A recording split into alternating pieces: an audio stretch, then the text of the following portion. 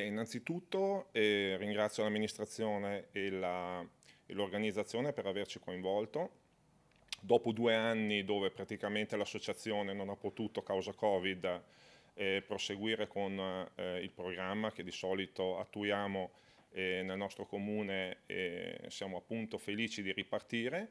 Eh, ci viene chiesto ehm, un intervento diciamo anche abbastanza facile, tra parentesi, che è mostrare la, la, cordialità della ristorazione locale e quindi ci verrà credo spontaneo nei confronti degli atleti e degli accompagnatori tutti. Quindi è un'opportunità e anche per noi un anno zero perché effettivamente veniamo da due anni dove non siamo riusciti a creare nulla.